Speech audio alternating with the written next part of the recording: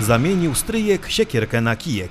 Tak można skomentować zamianę dróg, jakiej dokonał burmistrz Bielawy Piotr Łyżwa, oddając bielawską obwodnicę pod zarząd województwa dolnośląskiego w zamian za ulicę Żeromskiego i część Sienkiewicza. W uzasadnieniu podjętej uchwały czytamy, że pozbawienie powyższych dróg obecnej kategorii ma na celu wyprowadzenie ruchu tranzytowego, w szczególności ruchu pojazdów ciężarowych, z obszaru ścisłego centrum miasta Bielawa oraz umożliwi włączenie tych ulic w ciąg drogi wojewódzkiej nr 384.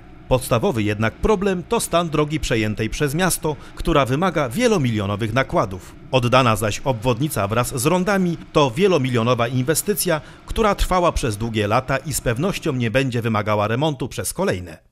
W 2013 roku władze województwa wyremontowały zaledwie jednokilometrowy odcinek drogi od ulicy Dzierżoniowskiej do ulicy Handlowej. Zmodernizowano nawierzchnię i wybudowano nowe chodniki. Łączne nakłady wyniosły 2 miliony złotych i były w całości finansowane z budżetu województwa dolnośląskiego. Do podobnej przebudowy kwalifikuje się jednak pozostały dwukilometrowy odcinek przejmowanej drogi. Łatwo wyliczyć, że skoro jeden kilometr kosztował 2 miliony złotych, to 2 kilometry będą kosztować około 4 milionów złotych.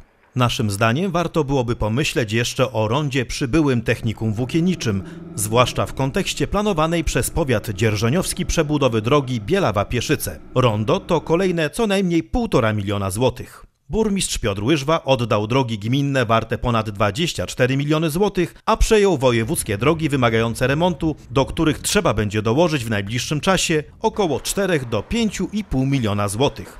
Co ciekawe, w uzasadnieniu do uchwały Piotr Łyżwa stwierdził, podjęcie uchwały w sprawie zaliczenia przedmiotowych ulic do kategorii dróg gminnych nie spowoduje skutków finansowych dla gminy Bielawa. Według informacji z Urzędu Miasta w Bielawie Piotr Łyżwa dokonał czegoś, o co były burmistrz starał się od lat. Z materiałów archiwalnych naszej telewizji wynika jednak, że Ryszard Dźwiniel nie chciał zamiany dróg, dopóki nie zostanie ona wyremontowana. Władzom miasta zależy na całościowym remoncie, bo toczą się rozmowy na temat ewentualnego przekazania tej drogi gminie Bielawa. E, ten pomysł jest nadal żywy, stąd też e, każda wizyta moja u marszałka czy, czy w Dolnośląskiej Służbie Dróg i Kolei zawsze sprowadza się do tego. E, jak pada pytanie, kiedy nam przekażecie obwodnicę, a przejmiecie tę drogę, ja mówię, możemy jako władze samorządowe i burmistrz i rada rozpatrzyć to dopiero wtedy, kiedy ta droga będzie w odpowiednich parametrach, czyli będzie w odpowiednim standardzie i myślę, że to jest powód, dla którego no, dość dobrze nam te rozmowy z Dolnośląską Służbą Dróg i Kolei przebiegają, żeby może w finale tak się stało. Ale czy tak się stanie, no czas pokaże.